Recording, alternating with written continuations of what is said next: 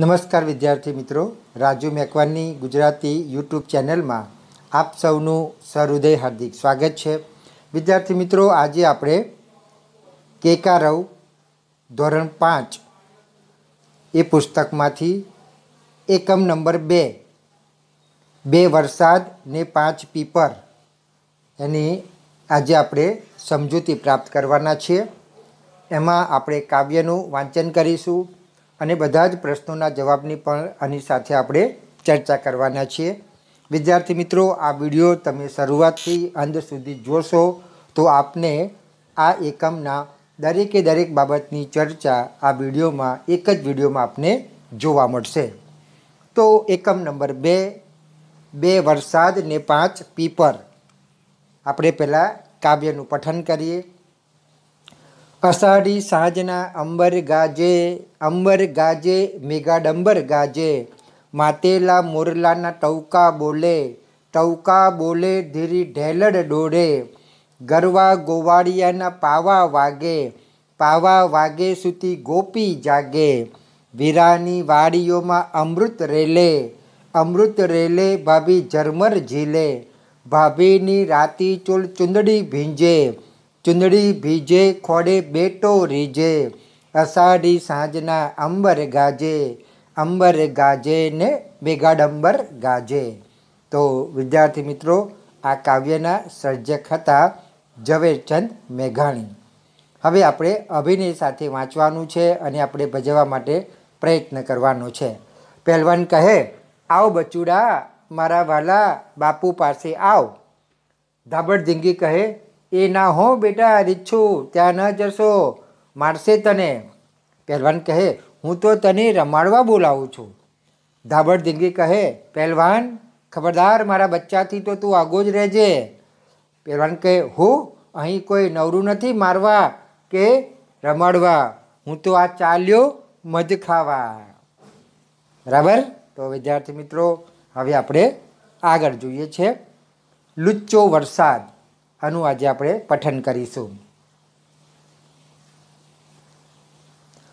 હું તો હવેથી આ વરસાદ સાથે નથી રમવાનો. એ બહુ લુચ્ચો છે. બપોરે હું સૂઈને ઉઠ્યો ત્યારે બારણા બંધ હતા. બહાર વરસાદ વરસતો હતો, તેનો અવાજ આવતો હતો. મને લાગ્યું કે તે હસે છે. ખરેખર એના અવાજ પરથી તો તે હસતો જણાતો હતો. હું દોડતો દોડતો બહાર તેની સાથે રમવા માટે ગયો. ત્યાં જઈને જોઉં છું તો ભાઈ સાહેબ ધોધમાર રૂવે છે. પરમ દહાડે બપોરે હું તેની સાથે ખૂબ રમ્યો. પણ જતી વખતે મેં એને કહ્યું કે આવતીકાલે સવારે તો મારે નિશાળે જવાનું છે. માટે તું બપોરે આવે તો આપણે ખૂબ રમીએ. પણ એ લુચ્ચો તો સવારે આવ્યો. ભલે એ જો સવારે વહેલો આવ્યો હોત તો બહારનું કાઢીને નિશાળે તો ન જાત, પણ એનો વિચાર તો મને ખાસ ભજવવાનો હતો. એટલે વહેલો આવે જ શાનો અમે લગભગ નિશાળે પહોંચવા આવ્યા, ત્યારે રસ્તામાં જ મળ્યો અને બોલ્યો, ચાલો રમવા. એ તે કેમ બને? નિશાળે જતાં વાર થઈ, તેથી માની બીકે હું ધ્રુજતો હતો. મહેતાજીને લાગ્યું કે હું વરસાદ સાથે લડ્યો અને પલળીને ઠરી ગયો. તેથી ધ્રુજતો હોઈશ. વરસાદનો સ્વભાવ કેટલો વિચિત્ર. જ્યારે જ્યારે એની સાથે રમવા જાઉં છું, ત્યારે કદી સીધી રીતે રમતો જ નથી. પોતે પહેલો પડે છે અને પછી મને પણ પાડે છે. એ પડે છે ત્યારે એને કાંઈ વાગતું નથી, પણ મને તો વાગે છે. એનું વળી મારા કપડાં પણ બગાડે છે. એ વધારાનું. મારું દુઃખ જોઈને તે હસે છે અને આંખથી રૂવે છે. રાત્રે પણ એ નિરાતે સૂતો નથી. મેં એને કેટલી વાર કહ્યું કે ઉનાળામાં આવજે, તડકો બહુ પડે, ત્યારે મારી સાથે રમવું મને બહુ ગમે. પણ ઉનાળામાં તો એ ભાઈ ભાગ્યે જ પધારે છે. કોઈ દાડો બહાર જતી વખતે જો હું છત્રી સાથે લેવાનું ભૂલી ગયો હોઉં, તો એ જરૂર આવતો. પણ જો હું મારી પેલી નવી સ્વદેશી છત્રીનો ભાર સાથે ઉપાડીને ફરું, તો એ દૂરથી જ ડોક્યું કરે. મોર સાથે પણ એ એવા ચાડા કરે છે. ભલેને મોર એની તરફ જોઈ જોઈને એની આખો દાડો બોલાવ બોલાવ કરે, પણ એ આવે જ નહીં. અને પછી ઓચિંતો આવીને એટલા જોરથી એના પર હસતો કૂદી પડે કે મોરના સુવાળા, આંખોવાળા પીછા ભીજવી નાખે અને બિચારાની બધી શોભા બગાડી નાખે. ચકલીને પણ એનો તોફાની સ્વભાવ નથી ગમતો. કૂકડો તો એનાથી ત્રાસી જાય છે. ગાય બળદને પણ એમ જ હેરાન કરે છે. બકરા તો એનાથી એટલા ગભરાય કે ન પૂછો વાત. બસ એક બતક અને ભેંસ એ બે એનાથી બહુ ખુશ ખુશ રહે છે. પણ હું તો નથી દોડી બતક કે કાળી ભેંસ માટે હું તો હવેથી આવા વરસાદ સાથે રમવાનો નથી. તો વિદ્યાર્થી મિત્રો, આ લુચ્ચો વરસાદ એના સર્જક હતા કાકા સાહેબ કાલેલકર. બરાબર? હવે આપણે આગળ ચર્ચા કરીએ છીએ. હવે આપણે વાતચીતના પ્રશ્નોના જવાબની પણ આની સાથે ચર્ચા કરી લઈએ. એમાં નંબર એક, પાઠમાં ક્યારે ક્યારે હસવું આવ્યું? જવાબ, પાઠમાં બાળક બહાર જતાં છત્રી ભૂલી જાય ત્યારે વરસાદ જરૂર આવતો, પણ છત્રી સાથે લઈ જાય ત્યારે આવતો નહીં, ત્યારે હસવું આવ્યું. નંબર બે, લુચ્ચો શબ્દ આવતો હોય તે વાક્ય લહેકાથી બોલો. લુચ્ચો શબ્દ આવતો હોય તેવા વાક્યો તો આપણે જોઈએ આપણે. હું તો હવેથી આ વરસાદ સાથે નથી રમવાનો, એ બહુ લુચ્ચો છે. નંબર બે, પણ એ લુચ્ચો તો સવારે જ આવ્યો. બરાબર? તો આ રીતે, વિદ્યાર્થી મિત્રો, તમારે લહેકાથી આ શબ્દો બોલવાના છે. ત્રીજો પ્રશ્ન, ચોમાસામાં કયા જીવજંતુઓ નીકળે છે? તે ચોમાસામાં જ કેમ નીકળતા હશે? જવાબ, ચોમાસામાં અળસિયા, માકડ, વંદા, કીડી, મંકોડા, ઉધઈ, કરોડિયા જેવા જીવજંતુ નીકળે છે. વરસાદનું પાણી જમીનમાં ઉતરે જીવજંતુઓના રહેઠાણમાં પાણી ભરાઈ જાય, તેથી તે ચોમાસામાં જ નીકળતા હશે. ચોથો પ્રશ્ન, તમને વરસાદ ક્યારે ક્યારે ન ગમે? જવાબ, મને શાળાએ જતા નવા કપડાં પહેરી પ્રસંગમાં કે ફરવા જતા રમત રમતા અને સવારે વરસાદ આવે તો ન ગમે. પાંચમો પ્રશ્ન, વરસાદ દર વખતે સરખો જ પડે છે? શો ફરક હોય છે? જવાબ, ના. વરસાદ દર વખતે સરખો ન પડે. ઝરમર, ધોધમાર, મુશળધાર, હેલી, ઘરા એમ જુદા જુદા સ્વરૂપે વરસાદ પડે. છઠ્ઠો પ્રશ્ન, શું લાગે છે હવે આ છોકરો વરસાદ સાથે રમશે? જવાબ, ના, હવે આ છોકરો વરસાદ સાથે નહીં રમે એવું લાગે છે. સાતમો પ્રશ્ન કોઈ તમને લુચ્ચા કહે તેવું કરવું હોય, તો તમે શું કરો? જવાબ, કોઈ મને લુચ્ચા કહે તેવું કરવું હોય, તો હું તેને છેતરું કે તેની સાથે કપટ કરું. આઠમો પ્રશ્ન, તમે ક્યારે લુચ્ચે કરી હોય, તો તો તે વાત કરો. જવાબ એકવાર મેં મારા મિત્રની નવી પેન્સિલ લખવા માટે લીધી હતી. તે પછી તેના જેવી જ જૂની પેન્સિલ પધરાવી દીધી હતી. નવમો પ્રશ્ન તમારી મમ્મી કે બહેન કે બીજું કોઈ તમને લુચ્ચો કે લુચ્ચી ક્યારે કહે છે?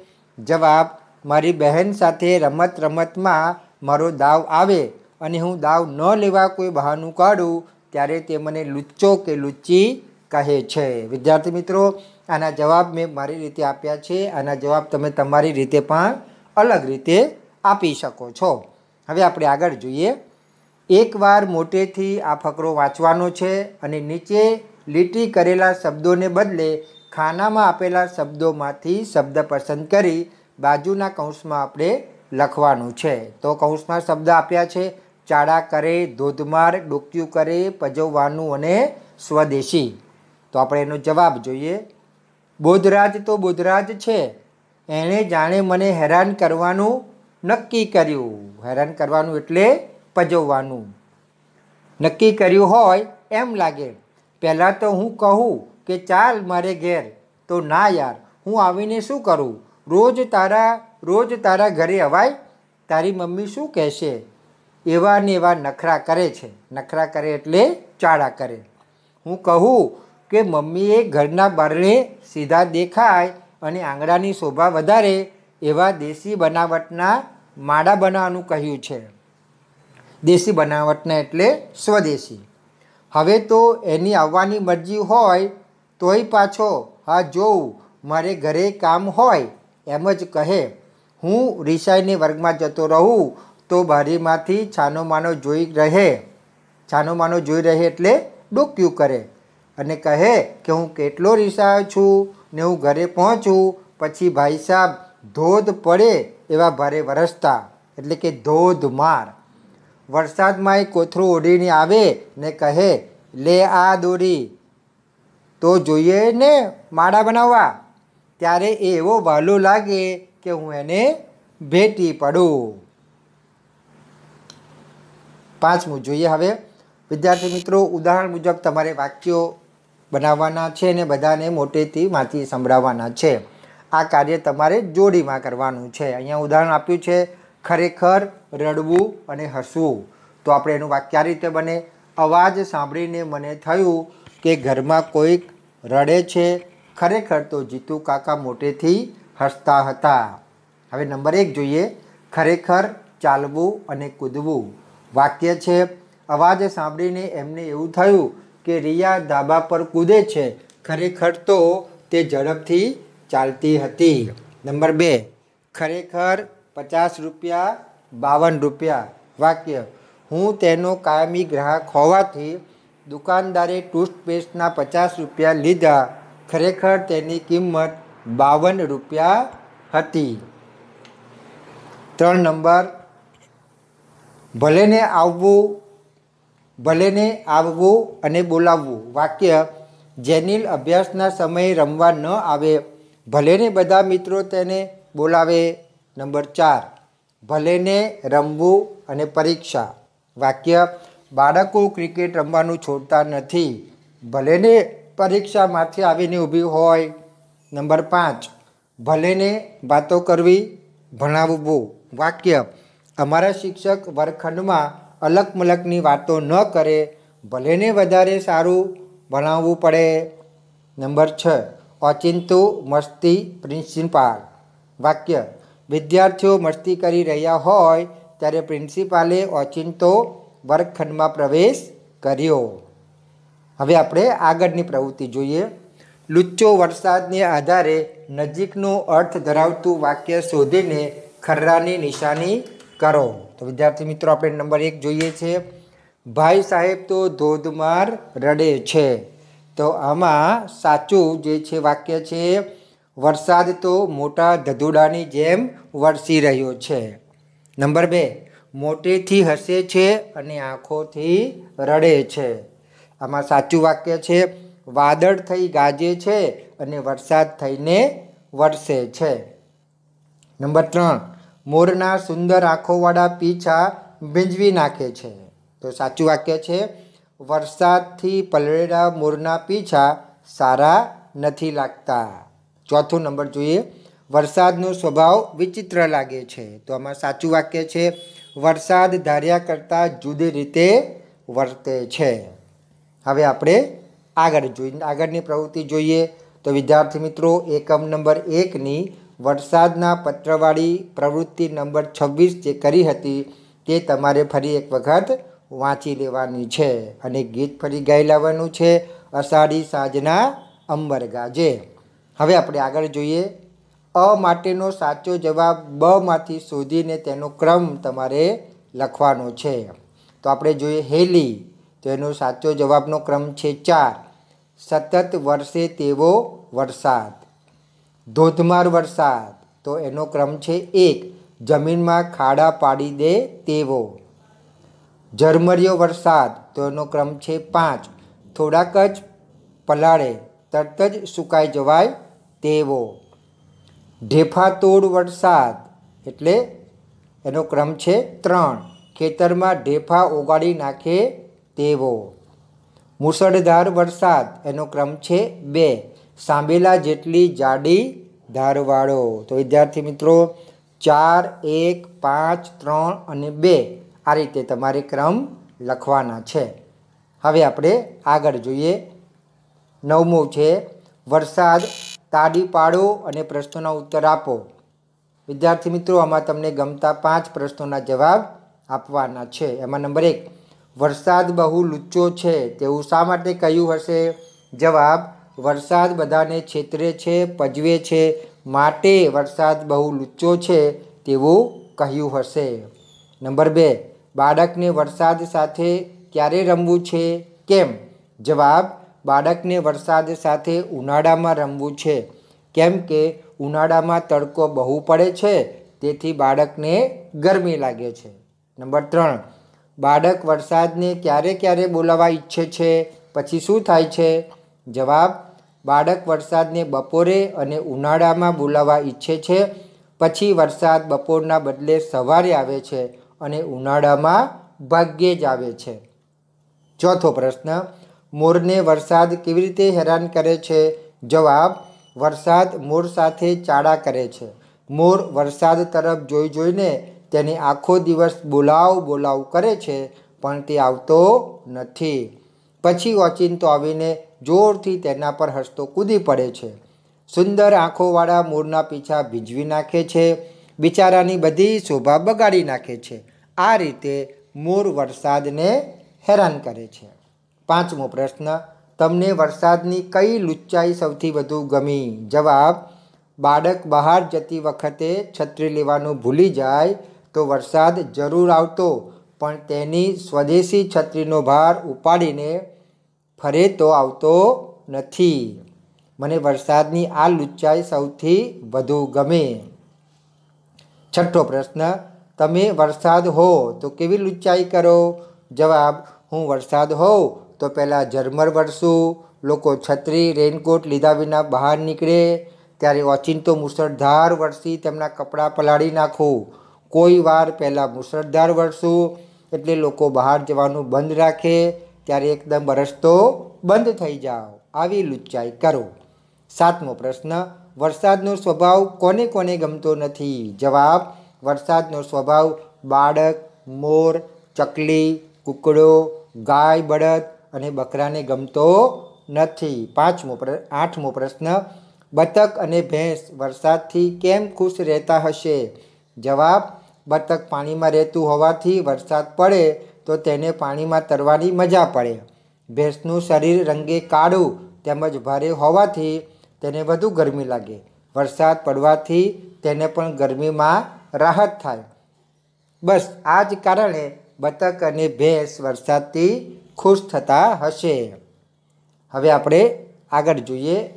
લુચ્ચો વરસાદના પહેલા ફકરા કરતાં ઉલટા અર્થવાળો ફકરો અહીં આપ્યો છે. જોડીમાં બેસીને તે તમારે વાંચવાનો છે અને સાથે મળીને બીજા ફકરાનો ઉલટો અર્થવાળો ફકરો બનાવીને તમારે લખવાનો છે. તો આપણે પહેલાં ફકરો જોઈએ. હું હજુ વરસાદ સાથે રમીશ. વરસાદ બહુ પ્રેમાળ છે. સવારે હું સૂઈને જાગ્યો ત્યારે દરવાજા બંધ હતા, બહાર તડકો પડતો હતો. માટે અવાજ આવતો નહોતો. મને તો વરસાદ રડતો લાગ્યો. ખરેખર તો તેના અવાજ પરથી તે ગંભીર લાગતો હતો. હું ઝડપથી દોડીને બહાર તેની સાથે રમવા ગયો. મેં જોઈ, મેં જઈને જોયું તો સાહેબજી ખડખડાટ હસતા હતા. હવે આપણે આ બીજા ફકરાનો ઉલટો અર્થવાળો ફકરો આપણે જોઈએ. પરમ દિવસે બપોરે હું વરસાદની સાથે બિલકુલ રમ્યો નહીં, પણ તેના જવાના સમયે મેં તેને કહ્યું કે આવતીકાલે બપોરે મારે શાળાએ જવાનું છે. માટે તું સવારે આવીશ તો આપણે ખૂબ રમીશું અને તે પ્રેમાળ વરસાદ સવારે જ આવ્યો. જો એ સવારે મોડો આવ્યો હોત તો પરાણે શાળાએ જવું પડત, પણ તેનો વિચાર મને ખુશ કરવાનો હતો એટલે વહેલો જ આવી ગયો. અમારા શાળાએ નીકળવાના સમય પહેલાં જ આવી ગયો અને કહેવા લાગ્યો, ચાલો રમવા. મેં કહ્યું, ચાલો રમીએ. હવે આપણે વિદ્યાર્થી મિત્રો આગળની પ્રવૃત્તિ જોઈએ. લુચ્ચો વરસાદમાં વરસાદ કુલ છ લુચ્ચાઈ કરે છે. તે શોધી કાઢો અને ઉદાહરણ પ્રમાણે તે પજવણી કે છેતરામણી તે નક્કી કરીને લખવાની છે. હવે નંબર એક. હસતો હોય એમ લાગ્યું, પરંતુ ખૂબ રડતો હતો. આ છેતરામણી છે. નંબર બે, સવારે આવવાનું કહેતો હતો, પણ બપોરે આવ્યો, મને ભીંજવી દીધો. આ પજવણી છે. નંબર ત્રણ, વરસાદ પોતે પહેલો પડે છે અને પછી મને પણ પાડે છે. આ પજવણી છે. નંબર ચાર, પણ ઉનાળામાં તો એ ભાઈ ભાગ્યે જ પધારે છે. આ છેતરામણી છે. નંબર પાંચ બાળક છત્રી ભૂલી જાય ત્યારે આવે. છત્રી લઈ જાય ત્યારે ન આવે. અહીંયા છેતરામણી છે. નંબર છ. મોર બોલાવે ત્યારે આવે નહીં અને પછી ઓચિંતો આવી તેના પીછા ભીંજવી તેની શોભા બગાડી નાખે. અહીંયા પજવણી છે. હવે આપણે આગળ જોઈએ. વરસાદની મમ્મીને ફરિયાદ કરવા જાઓ કે તમારો વરસાદ મેઘ પર્જન્ય તો મને ખૂબ હેરાન કરે છે. એમ કહીને વિદ્યાર્થી મિત્રો, તમારે સંવાદ કરવાનો છે, બરાબર? તો વરસાદની કુલ છ ફરિયાદ છે. તેથી છ વિદ્યાર્થીઓ વારાફરતી મમ્મી બને છે અને છ ફરિયાદી બને એમ આપણે અહીંયા સંવાદ કરવાના છીએ. તો રાજ કહે, તમારો મેઘ તો મને બહુ હેરાન કરે છે. તમે તેને કાંઈક સમજાવો ને? વરસાદની મમ્મી કહે, કેમ? તેણે શું કર્યું? રાજ કહે, હું બપોરે સૂર્ય ઉઠ્યો ત્યારે તે વરસતો હતો. તેના અવાજ પરથી મને એવું લાગ્યું કે તે ઝરમર ઝરમર આવે છે. ચાલ, રમવા જાઓ. પણ જ્યારે રમવા માટે બહાર ગયો, તો ભાઈ સાહેબ ધોધમાર વરસવા લાગ્યા. કાયમ મારી સાથે આવું કેમ કરે છે? વરસાદની મમ્મી કહે, એક ધાર્યો ધોધમાર વરસીને થાકી જાય એટલે થોડો આરામ કરવા ઝરમર વરસે છે. વળી પાછો ધોધમાર, આમ તેનો ક્રમ ચાલ્યા જ કરે છે. મિહિર કહે, આંટી, પરમ દિવસે સવારે મારે સ્કૂલ જવાનું હતું. તેથી મેં તેને કહ્યું, ઓ પરજન્ય, તું બપોરે આવજે. આપણે ખૂબ રમીશું. છતાં તે મારા સ્કૂલે જવાના સમયે સવારે આવીને મને ભીંજવી દીધો. બપોરે કેમ ના આવ્યો? વરસાદની મમ્મી કહે, દીકરા, બપોરે એ સૂર્યનારાયણના પ્રકોપથી ડરી ગયો હશે. તેથી નહીં આવ્યો હોય. પ્રીતિ કહે, અને હા, આ તમારો વરસાદીઓ કદી સીધી રીતે રમતો જ નથી. પહેલાં પોતે પાડે છે અને પછી મને પણ પાડે છે. તેને તો કાંઈ વાગતું નથી, પણ મને વાગે છે અને વળી મારા કપડાં પણ બગાડે છે. પાછો મારું દુઃખ જોઈ હસે છે. તેને સમજાવો કે આવું ન કરે. વરસાદની મમ્મી કહે, પ્રીતિ, શું કરો? તેને સમજાવી સમજાવીને થાકી ગઈ કે તું આવું ન કર, પણ તે સ્વભાવે ખૂબ મસ્તીખોર છે. કુશ કહે, આ તમારા લાડલા મેહુલાને કહું છું કે ભાઈ ઉનાળામાં તડકો બહુ પડે ત્યારે આવજે. પણ ઉનાળામાં તો ભાઈ ભાગ્યે જ પધારે છે. તે ઉનાળામાં કેમ આવતો નથી? વરસાદની મમ્મી કહે, ઉનાળામાં કાળ ઝાડ ગરમીથી બચવા તે નદી, તળાવ, સમુદ્રમાંથી વરાળ બનીને વાદળની ઠંડકમાં જતો રહે છે. તેને ઠંડક થઈ જાય ત્યાં સુધી આવતો નથી. સોનલ સોનાલી કહે, અરે માસી, તમારો મેવલો હું બહાર જતી વખતે છત્રી લઈ જવાનું ભૂલી જાઉં તો જરૂર આવે અને છત્રીનો ભાર ઉચકીને ફર્યા કરું તો ભાઈ દેખાય જ નહીં. આવી રીતે કોઈને હેરાન કરાય? વરસાદની મમ્મી કહે, બેટા, એને આવી મસ્તી કરવાની આદત પડી ગઈ છે. ધીમે ધીમે છૂટી જશે. જૈની કહે, અરે, અમને તો ઠીક, આ મેં તો મોરને પણ છોડતો નથી. મોર આખો દિવસ બોલાવે તો આવે નહીં અને પછી વોચિન તો આવીને તેના સુંદર પીછા ભીંજવી બિચારીને બિચારાની શોભા બગાડી નાખે છે. મોરે તેનું શું બગાડ્યું છે? વરસાદની મમ્મી કહે, મોરે તેનું કાંઈ બગાડ્યું નથી જૈની બેટા, પણ મોર સાથે તેને નખરા કરવાની મજા આવે છે. સારું, હવે તમારી બધી ફરિયાદોના ઉકેલ માટે હું મારા મેહુલિયાને સમજાવીશ. બધા કહે માસી, તમારો આભાર. આવજો. તો વિદ્યાર્થી મિત્રો, આ રીતે તમારે સંવાદ કરવાનો છે. હવે આપણે આગળની પ્રવૃત્તિ જોઈએ. તો વરસાદ ઋતુ વિશે આઠ દસ વાક્યો તમારે લખવાના અને પાંચ પાંચના જૂથમાં બેસી સાથે મળીને એકબીજાનું લખાણ તમારે ચેક કરવાનું છે. અને લખાણમાંથી દસમાંથી તમારે એને ગુણ આપવાના છે. હવે આપણે જોઈએ વર્ષા ઋતુ વિશે. વર્ષા ઋતુ. વર્ષની મુખ્ય ત્રણ ઋતુઓ છે શિયાળો, ઉનાળો અને ચોમાસું. ચોમાસામાં વરસાદ પડે છે, તેથી તેને વર્ષા ઋતુ પણ કહે છે. વર્ષા ઋતુમાં આકાશ કાળા કાળા વાદળથી છવાઈ જાય છે, ઠંડો પવન ફૂંકાય છે, વીજળીના ચમકારા અને વાદળના ગગડાટ સાથે વરસાદ તૂટી પડે છે. આથી નાના, મોટા સૌ આનંદમાં આવી જાય છે. મોર કડા કરીને નાચે છે દેડકા ડ્રાઉં ડ્રાઉં કરે છે. ખેડૂતો ખેતર ખેડે છે. તેઓ ખેતરમાં બી વાવે છે. થોડા દિવસોમાં એ બીમાંથી કૂપણ ફૂટી નીકળે છે. ધરતી પણ લીલું ઘાસ ઉગી નીકળે છે. કૂવો, તળાવ, નદી, નાળા પાણીથી છલકાઈ જાય છે. રક્ષાબંધન, જન્માષ્ટમી, નવરાત્રિ અને દિવાળી જેવા મોટા તહેવારો વર્ષા ઋતુમાં આવે છે. લોકો આ તહેવારો આનંદથી ઉજવે છે. વર્ષા ઋતુમાં કોઈ વાર ભારે વરસાદ પડે તો ઘણું નુકસાન થાય છે. અનાજ પાકતું નથી, તેને લીલો દુકાળ કહે છે. કોઈ વાર તદ્દન ઓછો વરસાદ પડે છે, તેથી અનાજ પાકતું નથી, તેને સૂકો દુકાળ કહે છે. વર્ષા ઋતુ આપણને ઘણી ઉપયોગી છે, તેથી તે મારી પ્રિય ઋતુ છે. હવે વિદ્યાર્થી મિત્રો, આગળ આપણે જોઈએ છે પાંચ પાંચના જૂથમાં તમારે આ એક કામ કરવાનું છે. અહીંયા જે પેરેગ્રાફ આપેલો છે ફકરો તમારે મોટેથી વાંચવાનો છે અને બાકીના વિદ્યાર્થીઓ તેને સાંભળીને લખવાનું છે. વિદ્યાર્થી મિત્રો, એને આપણે કહી શકાય શ્રુત લેખન. શ્રુત લેખન એટલે સાંભળીને લખાવવાનું છે, બરાબર? અને પછી તમારે જાતે એકબીજાનું એ શ્રુત લેખન તપાસવાનું છે. વિદ્યાર્થી મિત્રો, તમે અહીંયા વૃક્ષ માતાનું ચિત્ર જોઈ શકો છો, બરાબર? એ ખાસ યાદ રાખજો. આ દાદીમાનું ચિત્ર જે છે એ વૃક્ષ માતા છે. હવે આપણે એમના વિશે જાણીએ.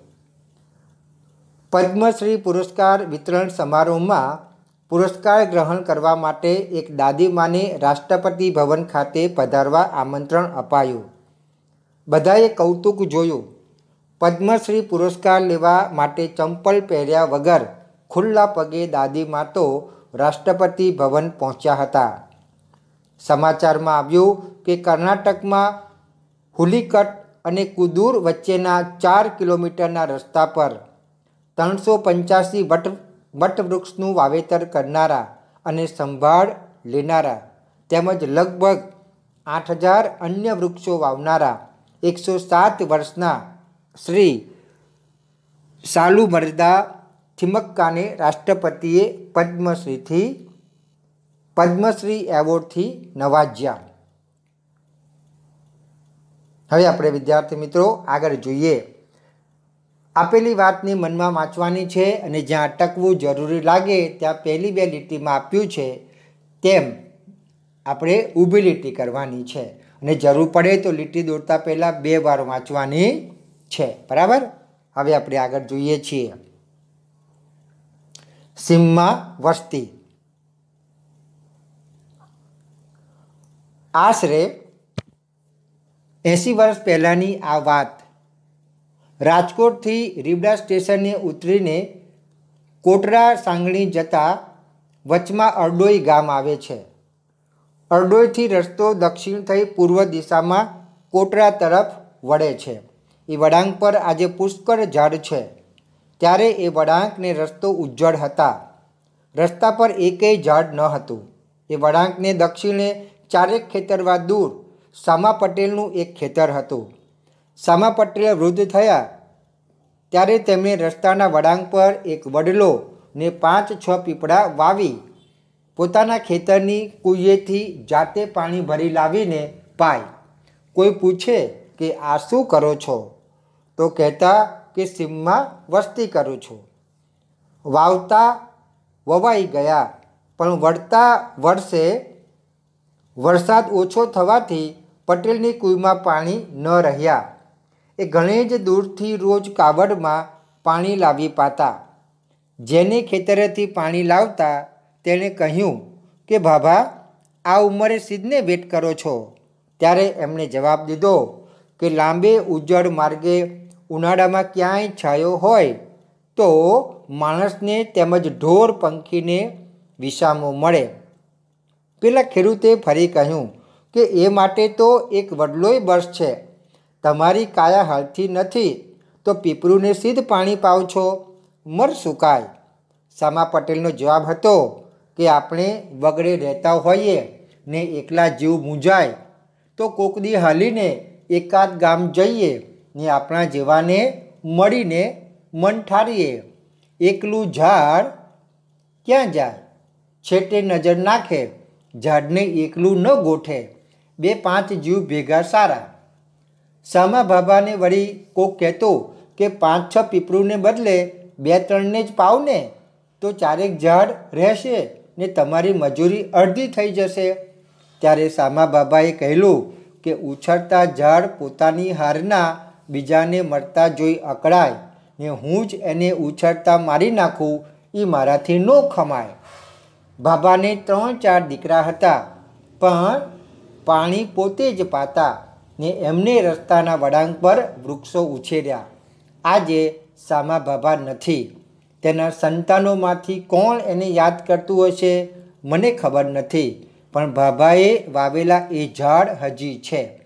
ઉનાળામાં ઘણા બપોરે પશુ, પંખી ને માણસોની પેઠે એ ઝાડના છાયામાં મેં ગાળ્યા છે. ઉપરાંત ટીમણ કર્યા ને ક્યારેક એના થડને બાથ ભરી પ્રણામ પણ કર્યા છે. એ ભાવનાથી કે એ પ્રણામ એ ઝાડના વાવનારને પણ પહોંચે. તો વિદ્યાર્થી મિત્રો, આના સર્જક હતા મુકુંદરાય પારાશર્ય. હવે આપણે એના પ્રશ્નોના જવાબની ચર્ચા કરીએ વાતચીતના રૂપમાં. નંબર એક, વાહ, બોલી પડાય એવી કઈ વાત લાગી? જવાબ, વરસાદ ઓછો થયો હતો, સમા પટેલની કુઈમાં પાણી ન હતું. તેઓ વૃદ્ધ હોવા છતાં ઘણી દૂરથી રોજ કાવડમાં પાણી લાવી એક વડલાને એને પાંચ છ પીપળાને પાણી પાતા. આ વાત વાહ, બોલી પડાય એવી લાગી. નંબર બે, તમને લાંબો સમય એકલા રહેવું ગમે? કેમ? જવાબ, ના મને લાંબો સમય એકલા રહેવું ન ગમે. કેમ કે લાંબો સમય એકલા રહેવાથી કંટાળો આવે.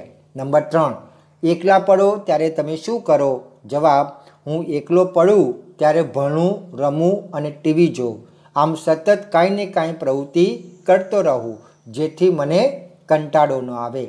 નંબર ચાર, ઝાડને સજીવ કહેવાય કે નિર્જીવ? કેવી રીતે ખબર પડે? જવાબ, ઝાડને સજીવ કહેવાય. ઝાડ પણ આપણી જેમ જીવવા માટે હવા, પાણી અને ખોરાક લે છે. આપણી જેમ વિકાસ પામે છે, તેથી ખબર પડે છે. પાંચમો પ્રશ્ન, તમે ઝાડ હો, તે રીતે ઉત્તર આપો. ઝાડને ક્યારે મજા આવતી હશે અને ક્યારે દુઃખ થતું હશે? જવાબ, મારો વિકાસ થતાં મને નવા ડાળી, પર્ણ, ફૂલ, ફળ આવે ત્યારે મજા આવે. મારા પર્ણ ખરી પડે નવા પર્ણ કે ડાળી ન ઉગે, ફળ કે ફૂલ આવતા બંધ થઈ જાય તથા કોઈ મારી ડાળખી કાપે ત્યારે દુઃખ થાય. છઠ્ઠો પ્રશ્ન, તમારે ત્રણ વૃક્ષ વાવવા હોય તો કયા કયા વાવો? કેમ? જવાબ, મારે ત્રણ વૃક્ષ વાવવા હોય તો લીમડો, પીપળો અને વડલો વાવું. કેમ કે આ વૃક્ષ વિકાસ પામી ઘટાદર બનીને માણસો પશુ પંખીઓ તેમજ છાયામાં વિસામો આપે અને ઉપયોગી બની રહે છે. સાતમો પ્રશ્ન, સામા પટેલ તમને સામા મળે? તો તમે શું કરો? શું કહો? ભજવીને બતાવો. જવાબ, સામા પટેલ મને સામા મળે, તો હું તેમનું બે હાથ જોડીને અભિવાદન કરું.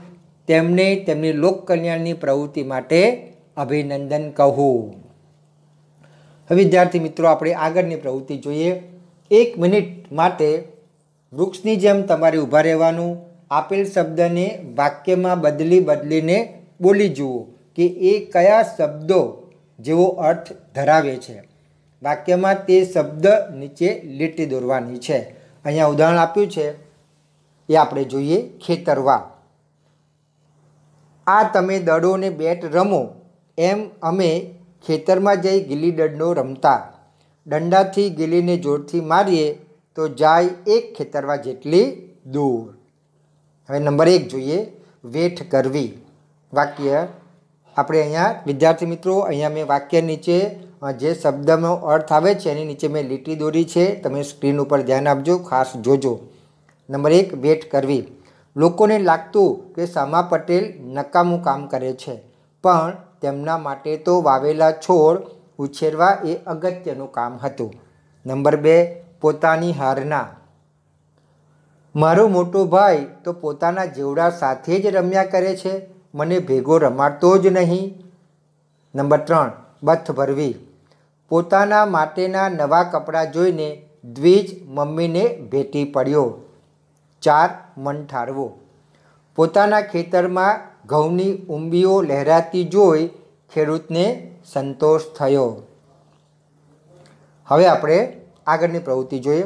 પૂરા વાક્યમાં, વિદ્યાર્થી મિત્રો, તમારે જવાબ આપવાના છે. અહીંયા ઉદાહરણ આપ્યું છે, તમે ક્યાં રમો છો? તો વાડી. તો આપણે જવાબમાં લખીએ, અમે મેદાનમાં અને ફળિયામાં રમતો રમીએ છીએ. અમને વાડીએ રમવાનું પણ ગમે છે. નંબર એક, અહીં ઊભા રહીને રસ્તા પર વારંવાર શા માટે જુઓ છો? કૌંસમાં વાટ શબ્દ છે. તો જવાબ, મારો મિત્ર મને અહીં મળવા આવવાનો છે. તેની વાટ જોતો હોવાથી અહીં ઊભા રહીને રસ્તા પર વારંવાર જોઉં છું. હવે આપણે જોઈએ આગળ. નંબર બે. અહલ્યા, શું થયું? કે તમે બધા એકદમ ઊભા થઈને કૂદવા માંડ્યા? કૌંસમાં શબ્દ છે હરક જવાબ છે, અમારા શિક્ષકે આવતા અઠવાડિયે સ્ટેચ્યુ ઓફ યુનિટી જોવા જવાની વાત કરી. તે સાંભળીને હરખમાં અમે બધા એકદમ ઊભા થઈને કૂદવા માંડ્યા.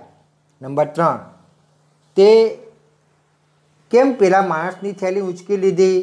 કૌંસમાં ભાભા શબ્દ છે. જવાબ, પેલા માણસ ભાભા હતા, તેમની થેલી ખૂબ વજનદાર હતી, તેથી મેં તેમની થેલી ઉંચકી લીધી. ચોથું, ઓહો, તમે કેવી રીતે આવ્યા કે મને ખબર જ ના પડી? કૌંસમાં ચોર પગલે. જવાબ છે, હા, હું ચોર પગલે આવ્યો કે તમને ખબર જ ન પડી. નંબર પાંચ, તમે એકલા જ મેળામાં ગયેલા? કૌંસમાં છે સંગાથે. જવાબ, ના, અમે સૌ મિત્રો સંગાથે મેળામાં ગયેલા. નંબર છ, શું છે તમારી બાજુ? વરસાદ પાણી કેવા? કૌંસમાં ધોધમાર. જવાબ છે, અમારી બાજુ થોડા દિવસોથી વરસાદ ધોધમાર વરસે છે. હવે આપણે વિદ્યાર્થી મિત્રો અહીંયા તમારે અભિનય કરવાનો છે. બરાબર? ત્રણ ત્રણના જૂથ બનાવીને અભિનય તમારે કરવાનો છે. એ તમે ખાસ યાદ રાખજો. અહીંયા અભિનયમાં આપેલું છે, તમારે કેવો અભિનય કરવાનો છે તે વાટ જોવી, વિસામો કરવો, ચોર પગલે આવવું, સંગાથે જવું, વાજ આવી જવું, હિપતાઈ જવું અને ચીસો ગજાવવી. બરાબર? વિદ્યાર્થી મિત્રો, આમાં તમારે ચાર પાંચ મિનિટનો આપવાની છે અને તમે કેવો અભિનય કરવાનો છો તમે નક્કી કરવાનું અને વારાફરતી એક પછી એક ગ્રુપના સભ્યો વર્ગ સમક્ષ તમારે અભિનય કરવાનો છે. ખાસ યાદ રાખજો.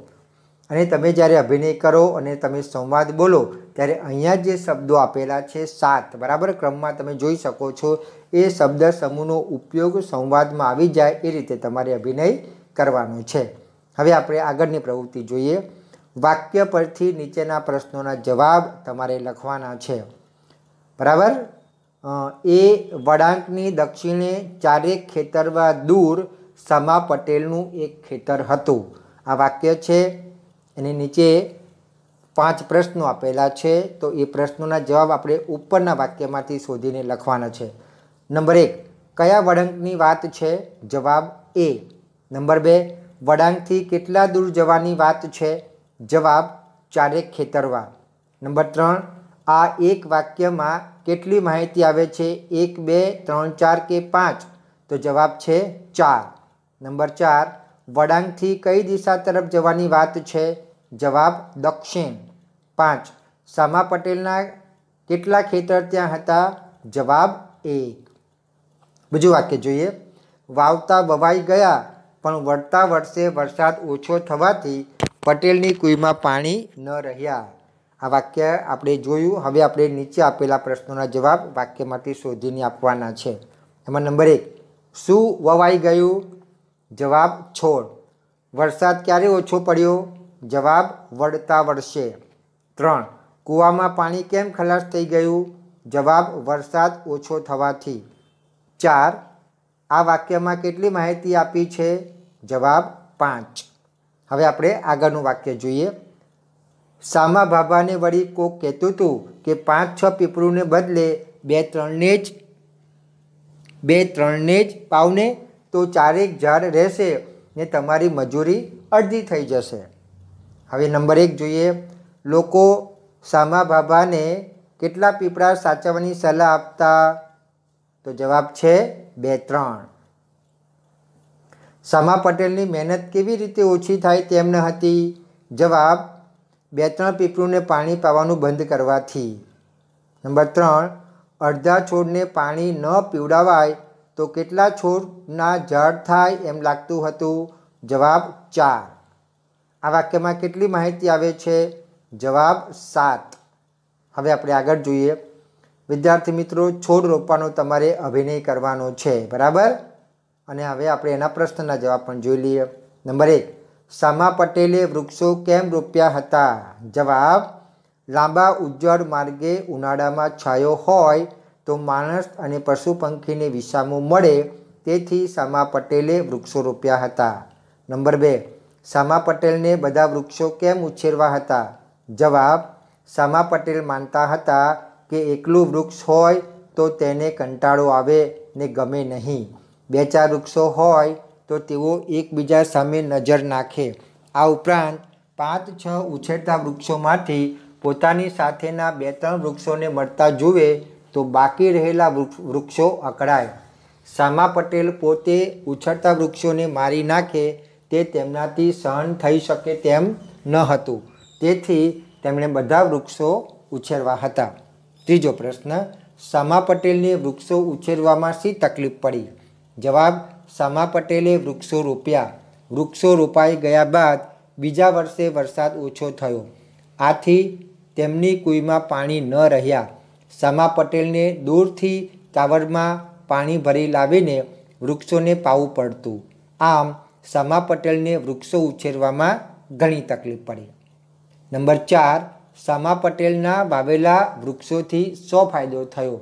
જવાબ સમા પટેલના વાવેલા વૃક્ષોથી એ ફાયદો થયો કે ઉનાળામાં બપોરે ઘણા માણસો, પશુ પંખીઓ, વૃક્ષો છાયામાં વિસામો ખાય છે.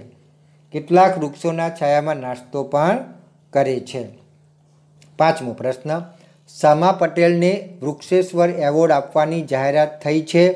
તેમને મોકલવા માટેનો અભિનંદન પત્ર તમારે વિદ્યાર્થી મિત્રો તૈયાર કરવાનો છે. બરાબર? તો વિદ્યાર્થી મિત્રો, અહીંયા તમને પત્ર લખવાની માહિતી પણ મળી શકશે. બરાબર? પત્ર કેવી રીતે લખવો એ પણ તમને ખ્યાલ આવશે. તો આપણે જવાબ જોઈએ એનો. પર્યાવરણ વિભાગ, ગુજરાત પર્યાવરણ મંડળ, ગાંધીનગર, ગુજરાત, પિનકોડ નંબર ત્રણસો બ્યાસી, જીરો દસ, તારીખ એક છ બે હજાર બાવીસ. સેવાભાવી શ્રી સોમાભાઈ પટેલ, પછી અલ્પીરામ મૂકવાનું છે. પછી નમસ્તે અને પાછળ ઉદ્ગારજીને મૂકવાનું છે. અને પેરેગ્રાફ પાડીને આપણે લખાણ જોઈએ. ગુજરાત પર્યાવરણ મંડળ દ્વારા સમગ્ર ગુજરાતમાં વૃક્ષોની શ્રેષ્ઠ સાર સંભાળ રાખનારનું સન્માન કરવામાં આવે છે. આ સંદર્ભે આ વર્ષે મંડળ દ્વારા વૃક્ષેશ્વર એવોર્ડ માટે આપશ્રીની પસંદગી કરવામાં આવી છે. હું તેના માટે આપને ખૂબ ખૂબ અભિનંદન પાઠવું છું. આપની વૃક્ષો ઉછેરવાની શુભ ભાવના છે. તે માટે આપ વિષમ પરિસ્થિતિમાં પણ કઠિન પરિશ્રમ કરી રહ્યા છો. લોક કલ્યાણની ભાવના સાથે સેવાનું અદ્ભુત કાર્ય કરી રહ્યા છો, જે પ્રશંસનીય છે. મને ખાતરી છે કે આવનારા સમયમાં પણ આપ આ રીતે વૃક્ષ ઉછેરના કાર્યમાં અગ્રેસર રહેશો. પર્યાવરણ ક્ષેત્રે વધુ પ્રગતિ માટે આપ શ્રીને શુભેચ્છાઓ પાઠવું છું. આભાર સાથે આપનો વિશ્વાસુ નિયામક પર્યાવરણ વિભાગ. તો વિદ્યાર્થી મિત્રો, આ રીતે તમારે આભારનો પત્ર લખવાનો છે. હવે આપણે આગળની પ્રવૃત્તિ જોઈએ. તમારે વિદ્યાર્થી મિત્રો વિચારીને કહેવાનું છે અને જૂથ ચર્ચા કરવાની છે. બરાબર? વૃક્ષને એકલું લાગે તો શી વાતો કરતું હશે? કોની કોની સાથે વાતો કરતું હશે? તમારી આસપાસ વૃક્ષ ન હોય એવી જગ્યા છે? તમે તે જગ્યાએ લીલાછમ કરી શકો. કેવી રીતે? તો વિદ્યાર્થી મિત્રો, હવે આપણે એનો જવાબ જોઈએ. વૃક્ષને એકલું લાગે તો તેના પર બેસતા પંખીઓ સાથે વાતો કરતું હશે. કે તમે અહીં કલરવ કરો છો એટલે મને ગમે છે. નહીં તો કંટાળો આવે. પશુઓ તેમજ મુસાફરોને કહેતું હશે કે તમે અહીં મારા છાયામાં વિસામો કરો છો, સુખ દુઃખની વાતો કરો છો, તેનાથી મને સંતોષ મળે છે. એકલું લાગતું નથી.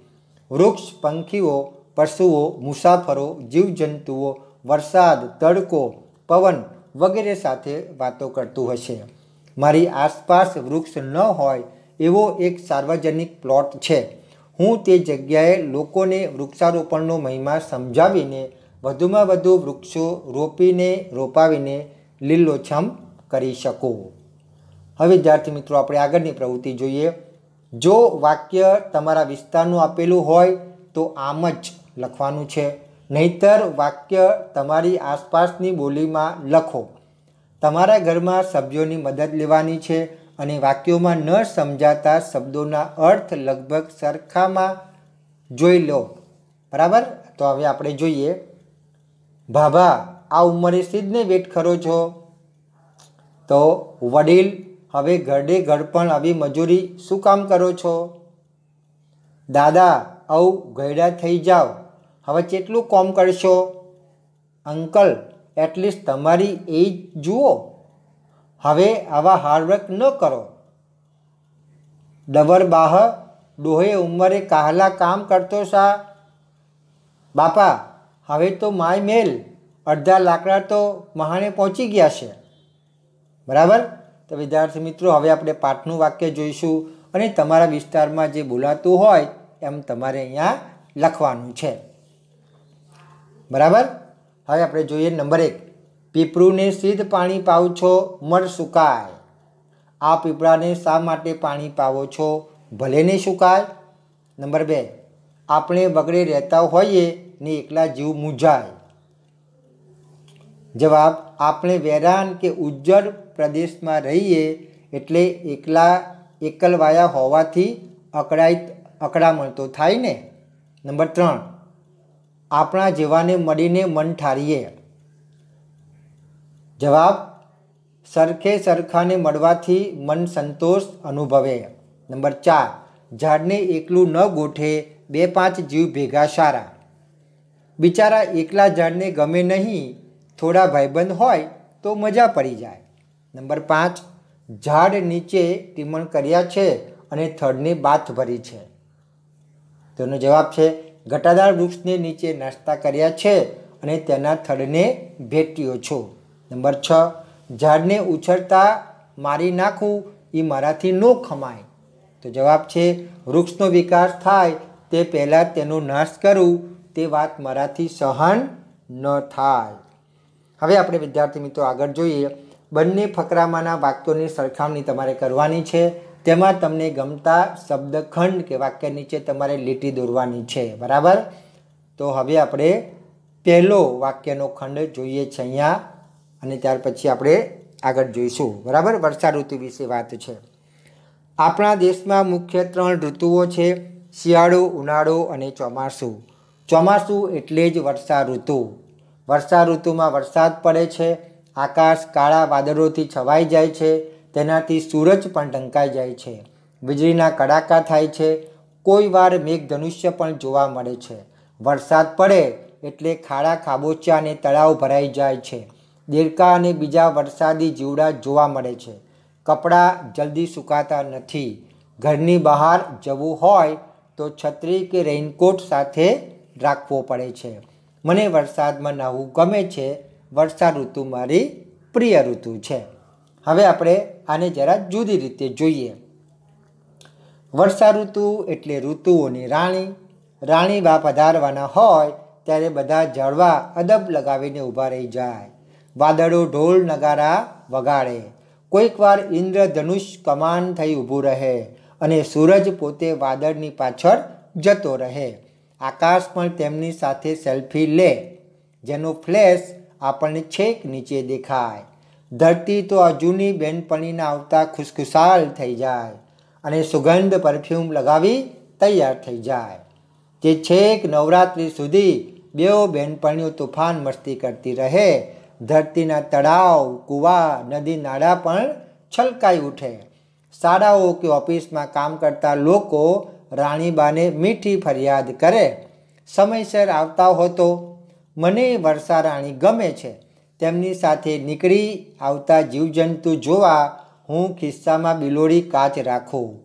ધીમે, મધ્યમ કે મુસળધાર વરસાદના અવાજને કાન દઈને સાંભળ્યા કર્યું જાણે કે તબલા પર જુદી જુદી થાપ અને વરસાદમાં નવાનું તો સે ચૂકાય. મને તો આ રાણીબા ઘણા વહાલા છે. તો વિદ્યાર્થી મિત્રો, જોયું ને અહીંયા? પ્રથમ આપણે જોયું તો એ વર્ણન અને બીજું વર્ણનમાં ઘણો બધો ફરક છે. બરાબર? હવે તમને જે વાક્ય, શબ્દ કે ખંડ ગમ્યા હોય, એની નીચે તમારે લીટી દોરવાની છે ને તમારે એના માર્ક્સ આપવાના છે. બરાબર? હવે આપણે આગળ જોઈએ. તમે વરસાદમાં ફરવાની મજા આવે છે. તો ચાલો આપણે બીજું એક ગીતનું પણ પઠન કરીએ. ચાલો નીકળીએ પ્રવાસમાં. આજ વર્ષો વરસાદ ઉપરવાસમાં કે ચાલ હવે ચાલી નીકળીએ પ્રવાસમાં. માટીની ગંધ મીઠી માર્ગ બતાવશે ને વાયરા સંગાતે થશે વાતો. લીલાછમ ઘાસ પરે હળવેથી દોડીએ ને સાંભળીએ ભમરાને ગાતો. ફૂલ ફોડી રહ્યા છે સુવાસમાં કે ચાલ હવે નીકળીએ પ્રવાસમાં. કોરપ ભૂલાય અને વાલપ છલકાય. એવું મોસમનું ભીનું છમ કહે. વૃક્ષોની ડાળીને પાંદડેથી વહી ચાલ્યા લીલાછમ વરસાદી વહેણ. રૂપ અષાઢી ઉગડે ઉજાસમાં કે ચાલ હવે નીકળીએ પ્રવાસમાં. આગળ જોઈએ. ઉપરવાસે વહેણ આવવાની વાટમાં બેસી રહેવાય નહીં ઠાલા. હૈયાના હેત તકી સામૈયા કરવાને આપણે જ વહી જઈએ સામાં? ઉર છલકી રહ્યા છે ઉલ્લાસમાં. બરાબર? તો વિદ્યાર્થી મિત્રો, આ કાવ્યના સર્જક હતા કવિ તુષાર શુક્લ. હવે આપણે જોઈએ આગળની પ્રવૃત્તિમાં. તમને વરસાદમાં ફરવાની મજા આવે છે, તો ચાલો ચાલી નીકળીએ પ્રવાસમાં. બરાબર? તમારે વિદ્યાર્થી મિત્રો, એ કવિતા વાંચવાની છે અને તમારે પછી ગાવાની છે. હવે આપણે વાતચીતના પ્રશ્નોના જવાબની પણ ચર્ચા કરી લઈએ. નંબર એક, તમને ખૂબ ગમી હોય એવી ત્રણ પંક્તિ તમારે અહીંયા લખવાની છે, બરાબર? તો પંક્તિ છે, કોરપ ભૂલાય અને વાલપ છલકાય એવું મોસમનું ભીનું છમકહેણ વૃક્ષોની ડાળીને પાંદરેથી વહી ચાલ્યા લીલાછમ વરસાદી વહેણ, રૂપ અષાઢી ઉગડે ઉજાસમાં. બરાબર? આ પંક્તિ મને ખૂબ ગમી. બીજો પ્રશ્ન છે, તમને કઈ ઋતુમાં ફરવા નીકળવાનું બહુ મન થાય? તમને કોની કોની સાથે પ્રવાસમાં જવું ગમે? જવાબ છે, મને શિયાળાની ઋતુમાં ફરવા નીકળવાનું બહુ મન થાય. મને મમ્મી, પપ્પા, મિત્રો અને શિક્ષકો સાથે પ્રવાસમાં જવું ગમે. ત્રીજો પ્રશ્ન છે, તમારા ઘરે કોણ કોણ આવે? ત્યારે તમે તેમને લેવા કે આવકારવા સામે દોડતા પહોંચી જાઓ છો? જવાબ, મારા ઘરે મામા, મામી, ફોઈ, ફુવા, કાકા, કાકી અને માસી, માસા આવે ત્યારે હું તેમને લેવા કે આવકારવા સામે દોડતો પહોંચી જાઉં છું. ચોથો પ્રશ્ન, તમે ક્યારે ક્યારે ખુશીથી છલકાઈ જાઓ છો? જવાબ, હું નવા કપડાં પહેરું, મિત્રો સાથે રમતો રમતા જીતી જાઓ સ્પર્ધામાં ઇનામ જીતું, પ્રવાસ પર્યટનમાં જાઓ મહેમાન આવે, મને મનગમતી વસ્તુ મળે ત્યારે હું ખુશીથી છલકાઈ જાઉં છું. ખુશીથી ઝૂમી ઉઠું છું. પાંચમો પ્રશ્ન, વરસાદ આવે ત્યારે તમને શું કરવું સૌથી વધુ ગમે? ચોમાસામાં તમને શું ન ગમે? કેમ? જવાબ, વરસાદ આવે ત્યારે મને વરસાદમાં ભીંજાવાનું અને રમવાનું સૌથી વધુ ગમે. ચોમાસામાં મને રસ્તામાં પાણીના ખાબોચિયા ભરાઈ જાય, કાદવ કીચડ થાય, તે ન ગમે. કેમ કે રસ્તામાં આવતા જતાં તકલીફ પડે. છઠ્ઠો પ્રશ્ન વરસાદ પછી ઉગી નીકળેલા લીલાછમ ઘાસનું બિયારણ ક્યાંથી આવતું હશે? જવાબ, વનસ્પતિના બીજ, મનુષ્ય, પાણી, પવન પશુ પંખી દ્વારા એક જગ્યાએથી બીજી જગ્યાએ ફેલાય છે.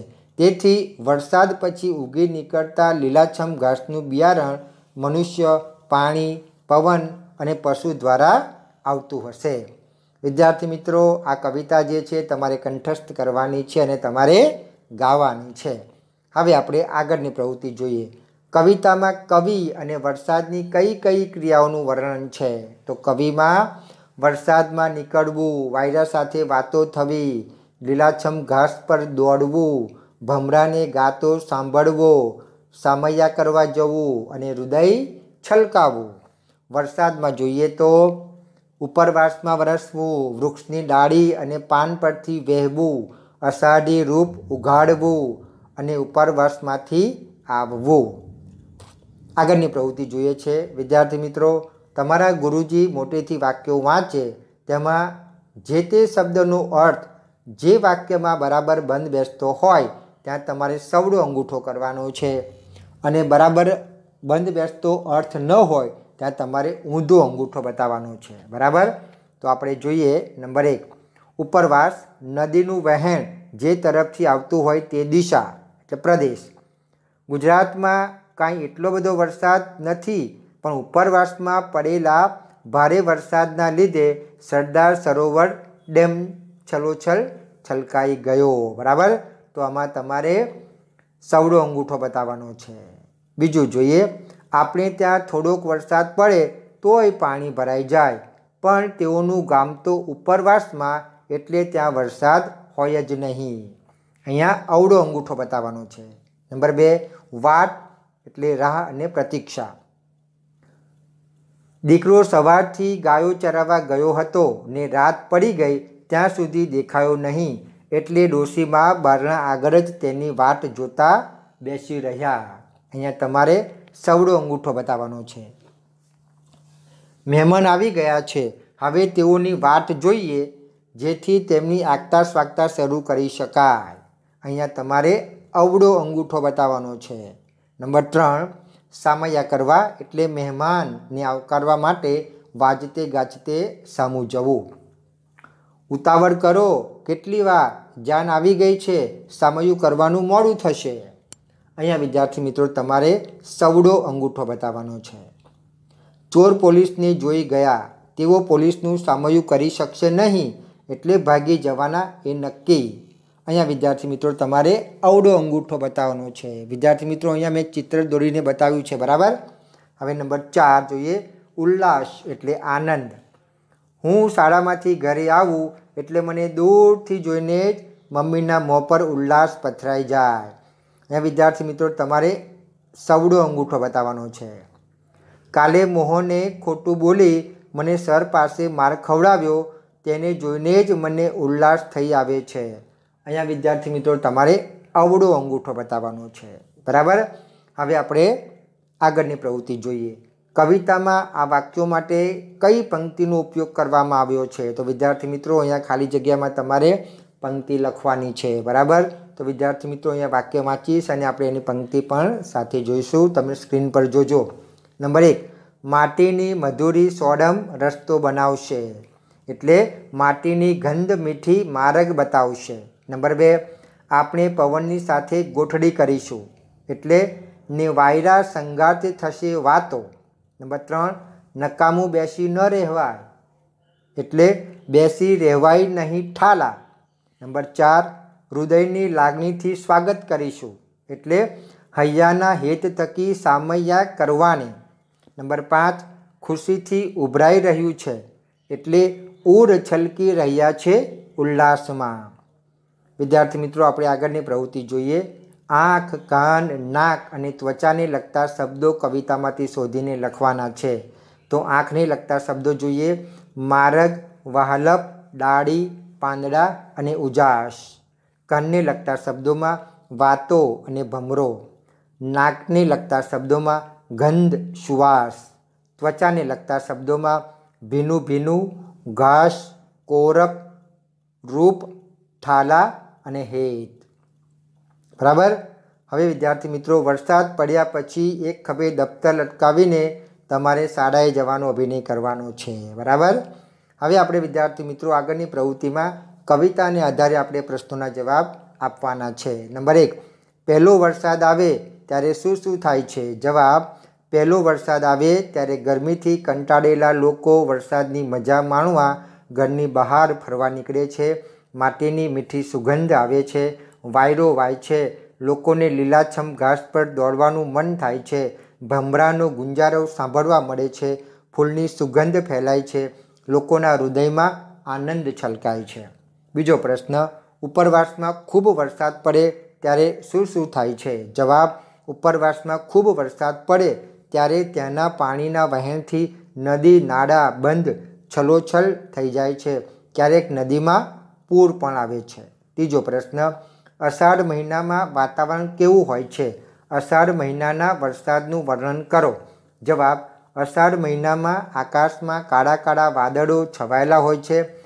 પવન ફૂંકાતો હોય છે. અષાઢ મહિનામાં વીજળીના ચમકારા અને વાદળોના ગડગડાટ સાથે વરસાદ આવે છે.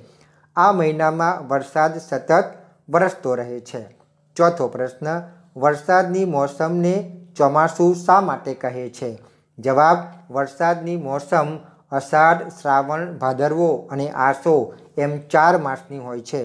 તેથી તેને ચાર માસનો સમૂહ એટલે ચોમાસું કહેવાય છે. નંબર પાંચ, સામયું એટલે શું? તે ક્યારે ક્યારે અને કોણ કોણ કરે છે? જવાબ, સામયું એટલે મહેમાન અથવા મોટા માણસને આવકારવા માટે વાજતે ગાજતે સામું જવું તે. લગ્નમાં જાન આવે ત્યારે કન્યા પક્ષના લોકો અથવા મોટા સંત મહાત્મા આવે ત્યારે તેમના અનુયાયીઓ અને રાજકીય પક્ષના મોટા નેતા આવે ત્યારે તે પક્ષના કાર્યકરો સામયું કરે છે. છઠ્ઠો પ્રશ્ન, થાલા બેસી રહેવાને બદલે તમને શું શું કરવું ગમે જવાબ, થાલા બેસી રહેવાને બદલે મને વાર્તા વાંચવી, ક્રિકેટ રમવું, ચિત્ર દોરવું, ઘરના કામમાં મમ્મીને મદદ કરવી અને ટીવી જોવાનું ગમે છે. બરાબર? હવે આપણે વિદ્યાર્થી મિત્રો આગળ જોઈએ. અહીંયા તમારે ઉદાહરણ મુજબ આગળ લખવાનું છે. બરાબર? એમાં નંબર એક જોઈએ. બહુ ઠંડી પડે છે આજના રાતના કે ચાલ હવે કરીએ તાપણું મેદાનમાં. તો વિદ્યાર્થી મિત્રો, અહીંયા જે ખાલી જગ્યા આપી છે, એમાં મેં જવાબ લખેલો છે. એ જવાબ આની સાથે હું વાંચું છું. તમે સ્ક્રીન ઉપર ધ્યાન આપજો. નંબર બે.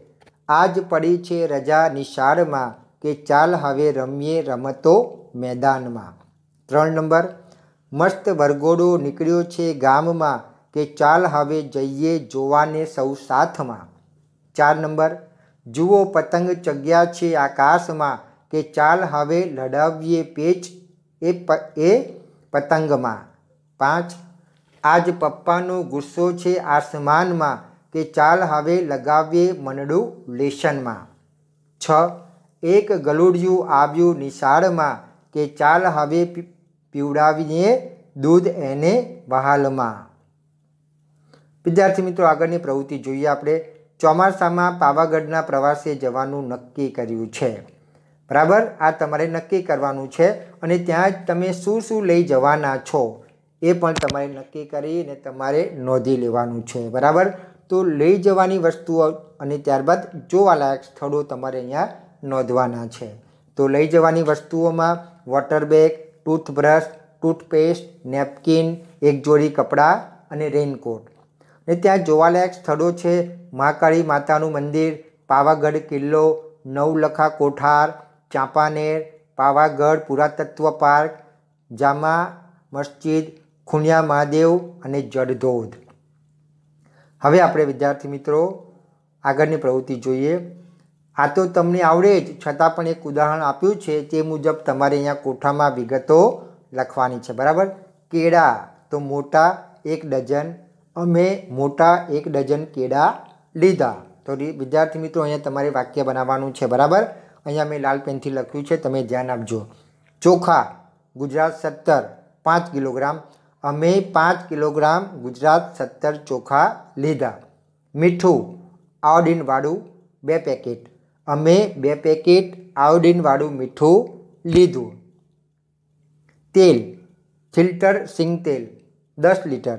અમે દસ લીટર ફિલ્ટર સિંગ તેલ લીધું.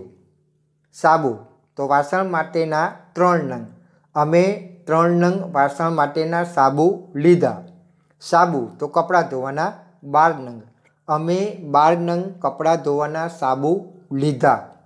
સાબુ, તો નાહવાના છ નંગ. અમે છ નંગ નાહવાના સાબુ લીધા. હવે ઘઉં, લોકવાન. વીસ કિલોગ્રામ. અમે વીસ કિલોગ્રામ લોકવાન ઘઉં લીધા. હવે વિદ્યાર્થી મિત્રો, આપણે આ ફકરો વાંચીને પહેલા ટેબલમાં ખૂટતી વિગતો ભરવાની છે અને બીજા ટેબલમાં પણ ખૂટતી વિગતો ભરવાની છે. બરાબર? અને આપણે જોઈએ. બિલાડી એક, તો કાળી કસરતબાજ દોરડું એક, તો ઝૂલતું જાડું. નદી એક પહોળી ધસમસતી. પુલ એક લાકડાનો, ઝૂલતો, મજબૂત અને જૂનો. જહાજ એક વિશાળ સુવિધાભર. મોજું એક ઊંચું ધસમસતું. અવાજ મોટો ઘેરો. દરિયો એક પોણી દુનિયા જેટલી જગ્યા ગજબ. બરાબર? હવે આપણે પેરેગ્રાફ વાંચીએ છીએ. આમ તો નદી પાર કરવા લાકડાનો ઝૂલતો પણ મજબૂત એવો એક પુલ છે. ગામ લોકો તે જૂના પુલનો ઉપયોગ કરે છે. ગામની એક કાળી બિલાડી કડતરબાજ છે. તે ઝૂલતા જાડા દોરડા પર ચાલીને ધસમસતી અને પોળી નદીને પેલે પાર જતી રહે છે. તો વિદ્યાર્થી મિત્રો, આપણે અહીંયા લખવાનું છે બરાબર? એ જવાબ તમે ધ્યાન રાખજો. મેં અહીંયા લાલ પેનથી લખેલો છે. પૃથ્વી પર દરિયો પોણી દુનિયા જેટલી જગ્યા રોકે છે, તે ગજબ કહેવાય. તેમાં એક વિશાળ સુવિધાસભર જહાજમાં લોકો સહેલ કરી રહ્યા છે. ત્યાં અચાનક ઘેરો મોટો અવાજ આવ્યો. લોકોએ તે દિશામાં જોયું તો દરિયાનું એક ઊંચું મોજું ધસમસતું તેમના જહાજ તરફ આવી રહ્યું હતું. બરાબર? હવે આપણે આગળની પ્રવૃત્તિ જોઈએ. અહીંયા કેટલીક વસ્તુઓ અને વ્યક્તિઓ તેમના વિશેષતા સાથે આપેલી છે. તે જોડીને ઉપયોગ કરીને વાર્તા પૂરી કરવાની છે. તે માટે વાર્તાનું વાક્ય યોગ્ય બને તે રીતે શબ્દ જોડીમાં જરૂર ફેરફાર કરવાના છે. ખિસ્સું શર્ટ તો ગંદુ, ચોખ્ખું, ઉજળું, કડક, ભીનું, રૂપાળું, વાલું, નવું, નક્કોર, ઇસ્ત્રી, તો ગરમ, નીરજ, તો હોશિયાર, નાનકડો સૂરજદાદા તો પ્રેમાળ, હુંફાળા અને દરજી, તો સમજદાર. હવે આપણે વિદ્યાર્થી મિત્રો જોઈએ. અહીંયા વિદ્યાર્થી મિત્રો જે ચોરસ, ગોળ અને શબ્દ નીચે લીટી કરવાની છે, તમે યાદ રાખજો. આગળ આપણે આ જ વસ્તુ શીખવાના છીએ. એક ખિસ્સું હતું, તેને નાનકડો નીરજ ગમતો હતો. તેને નીરજના નવા નક્કોર શર્ટ પર બેસવું હતું. પણ નીરજે તો કહી દીધું, ભાગ અહીંથી, ઓ ગંદા ખિસ્સા. ખિસ્સું તો રડી પડ્યું. પોતાના આંસુમાં ધોવાઈને ઉજળું ચોખ્ખું થઈ ગયું. ત્યાં તો હુફાળા સૂરજદાદા આવ્યા. તેમણે બીજા ખિસ્સાને સૂકવી દીધું. બરાબર? રૂપાળા સૂરજદાદા આવ્યા, તેમણે ભીના ખિસ્સાને સૂકવી દીધું. પછી ખિસ્સું ધોબી પાસે ગયું. ધોબીએ ગરમ ઇસ્ત્રી ફેરવી. ખિસ્સું તો કડક અને ફાંકડું થઈ ગયું. ખિસ્સું તો પહોંચ્યું દરજીને ત્યાં. સમજદાર દરજીએ તો તરત જ તેને નીરજના શર્ટ પર બેસાડી દીધું. બરાબર? હવે આપણે આગળની પ્રવૃત્તિ જોઈએ વિદ્યાર્થી મિત્રો. કૌંસમાંથી યોગ્ય શબ્દ પસંદ કરી ખાલી જગ્યા પૂરવાની છે અને પછી ટેબલમાં નોંધ કરવાની છે કે શાના વિશે માહિતી મળી છે તે. બરાબર? તો કૌંસમાં આપ્યો છે શબ્દો એક, સાવધાનીપૂર્વક, ધીમેથી, થોડે, મજેદાર અને શાંતિથી. બરાબર? તો આપણે વિદ્યાર્થી મિત્રો, અહીંયા મેં ખાલી જગ્યામાં લાલ પેનથી લખેલું છે, તમે ધ્યાન રાખજો. આ મજેદાર પ્રવૃત્તિ માટે તમારી શાળામાં સાવધાનીપૂર્વક જગ્યા શોધો. તમારા એક મિત્રને થોડે દૂર ઊભો રહેવા દો, કહો અને તેને ધીમેથી કંઈક બોલવા કહો. બાકીના બધાએ શાંતિથી સાંભળવાનું છે. બરાબર? તો અહીંયા પ્રવૃત્તિ છે. પ્રવૃત્તિ તો એમાં નામ છે, ક્રિયા નથી. માહિતીમાં મજેદાર.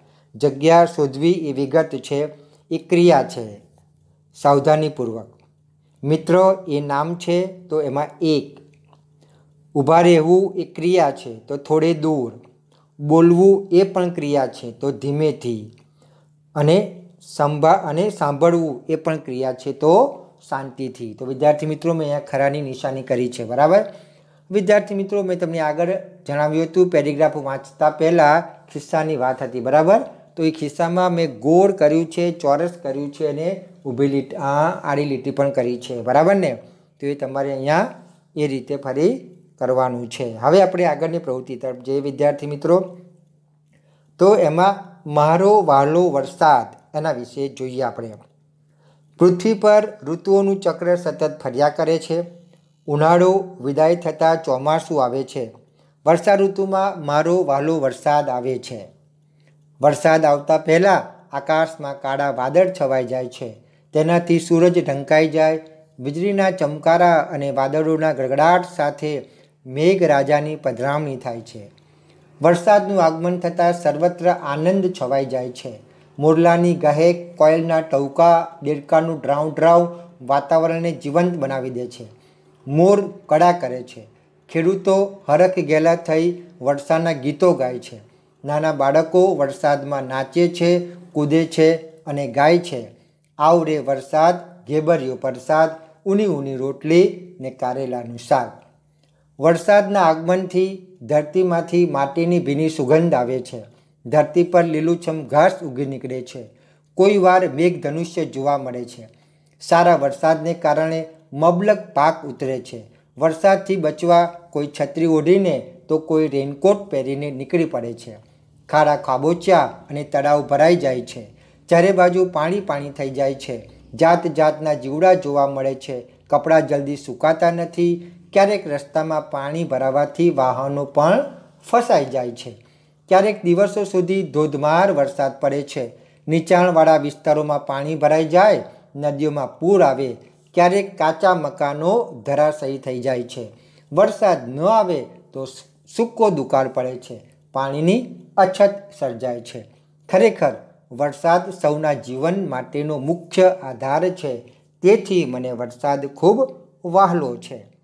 વિદ્યાર્થી મિત્રો, હવે આપણે આગળની પ્રવૃત્તિ જોઈએ છીએ એમાં તમારે વાક્ય વાંચવાનું છે અને તમારે પ્રશ્નોના જવાબ અહીંયા આપવાના છે. બરાબર? વાર્તામાં આવતા જે અંગ્રેજી શબ્દોના અર્થ તમને આવડતા હોય, તેના પર તમારે ગોળ કરવાનું છે. અને જો શબ્દ અર્થ ના આવડતો હોય, તો તમારે તમારા ગુરુજીને એમાં તમારે પૂછવાનું છે. બરાબર? આ ગુજરાતી વાર્તામાં બીજી કઈ ભાષાનો શબ્દ હશે? ગોળ કરતાં પહેલાં વિદ્યાર્થીએ શું નક્કી કરવાનું છે? જે શબ્દ ન આવડતો હોય તે શબ્દનું શું કરવાનું છે? જો તમે ઉપરના વાક્યમાં લખ્યું છે તેમ કરશો, તો તમને વાર્તામાં આવતા બધા અંગ્રેજી શબ્દો આવડી જશે. બરાબર? તો એ ખાસ યાદ રાખજો. હવે વિદ્યાર્થી મિત્રો, આપણે બીજી પ્રવૃત્તિ જઈએ. ઉદાહરણ પ્રમાણે તમારી ક્રિયાઓના અર્થ લખવાના છે અને બે ક્રિયાઓને સંયુક્ત ક્રિયાઓનો અર્થ તમારે જાણવાનો છે. બરાબર? એ ખાસ તમે યાદ રાખજો. હવે આપણે જોઈએ છીએ અહીંયા. ઉદાહરણ છે, સંયુક્ત એટલે શું? તો ભેગું. સંયુક્ત ક્રિયાઓમાં કેટલી ક્રિયાઓ હશે? બે. આપેલા વાક્યમાં કેટલી ક્રિયાઓ છે? બે. વિદ્યાર્થીએ શું લખવાનું છે? બંને ક્રિયાઓનો અર્થ. નંબર ત્રણ. અહીં આપવામાં આવેલા ઉખાણાના જવાબ શોધો. પછી તમે પણ નવા ઉખાણા બનાવો. અને તમારા વર્ગમાં પૂછો. તો જોઈએ, સૌથી પહેલાં શું વાંચવાનું થશે? ઉખાણા. કયું કામ કરવાની મજા આવશે? ઉખાણાના ઉત્તર શોધવાની. તમારે અહીં કયા કયા કામ કરવાના છે? આપેલા ઉખાણાના ઉત્તરો શોધવા, નવા ઉખાણા બનાવવા અને વર્ગમાં પૂછવા. નંબર ચાર. કેટલાક શબ્દ બદલવાથી યોગ્ય વાક્ય બને છે? આવું ઓછામાં ઓછું બે રીતે સુધારો. અહીં આપેલા વાક્યોમાં શું નકામું હશે? તો કેટલાક શબ્દ. ઓછામાં ઓછી બે રીતે કયું કામ કરવાનું છે? તો વાક્ય સુધારવાનું. અહીં આપેલા વાક્ય સાચું ક્યારે બને? તો કેટલાક શબ્દ બદલવાથી. દરેક વાક્ય કેટલી રીતે સુધારી શકાય તેવું હશે? તો ઓછામાં ઓછી બે રીતે. પાંચમું છે, આપેલા ફકરાના દરેક વાક્યમાં કોઈ ભૂલ છે? તે શબ્દ શોધો, તેના પર લીટી કરો, સાચો શબ્દ લખો અને આખો ફકરો ફરી વાંચવાનો છે. તે શબ્દ એટલે કયો શબ્દ? એટલે ભૂલવાળો. ફકરાના કેટલા વાક્યોમાં ભૂલ વગરના હશે એક પણ નહીં. વિદ્યાર્થીઓએ કયા કયા કામ કરવાના છે? તો કોઈ ભૂલ છે, એ શોધવાની છે, એ શબ્દો શોધવાના છે અને તેની નીચે લીટી કરવાની છે. અને આખો ફકરો ફરી વાંચવાનો છે. દરેક વાક્યમાં કેટલા શબ્દ સુધારણા થશે? તો એક, લીટી કરતાં પહેલાં વિદ્યાર્થીઓએ શું નક્કી કરવું પડશે? તો વાક્યમાં કયા કયા શબ્દોમાં ભૂલ છે? તે. વિદ્યાર્થી મિત્રો, અહીંયા સ્વર ચિહ્ન આપ્યા છે. હર્ષવઈ દીર્ઘઈ હર્ષવવું દીર્ઘવું કાનો, પછી માત્ર, અનુસ્વાર. બરાબર? અહીંયા તમે જોઈ શકો છો, શબ્દો આપેલા છે. અને એ શબ્દની નીચે ક્યાં ભૂલ છે એ આપણે મૂકવાનું છે. બરાબર?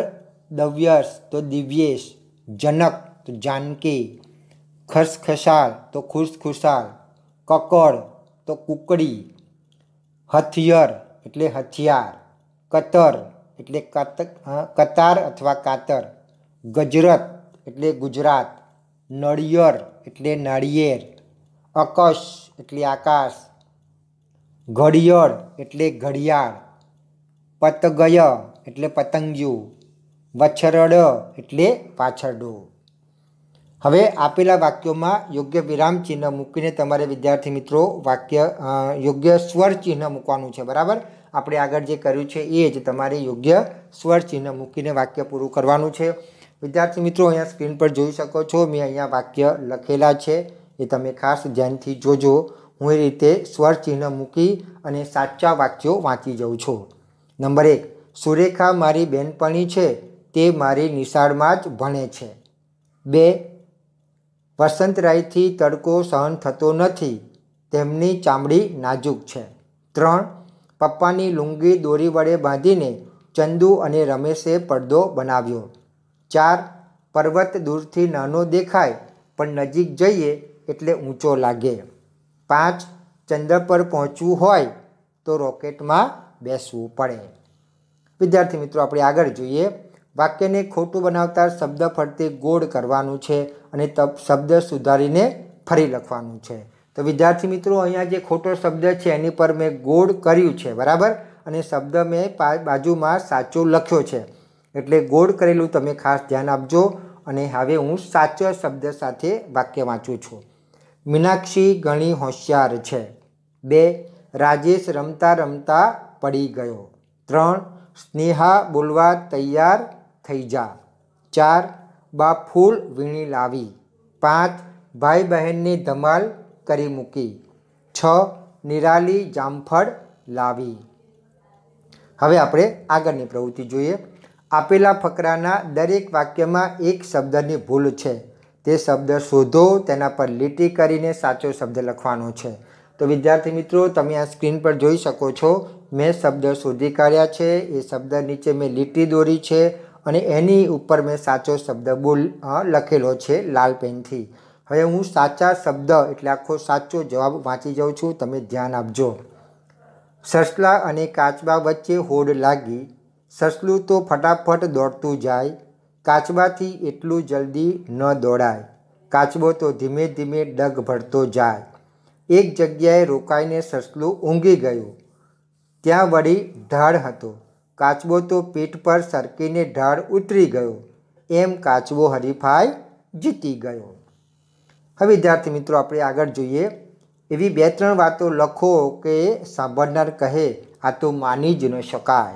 તો અહીંયા આપણે જોઈએ છે આજે મેં સફરજન ખાધું, માની શકાય એવું છે, બરાબર? આજે મેં સફરજન પીધું, માની જ ન શકાય. સિંહ મારા ઘરે નાસ્તો કરવા આવે છે, માની જ ન શકાય, બરાબર? વિદ્યાર્થી મિત્રો, સિંહ ક્યારે ન આવે, બરાબર?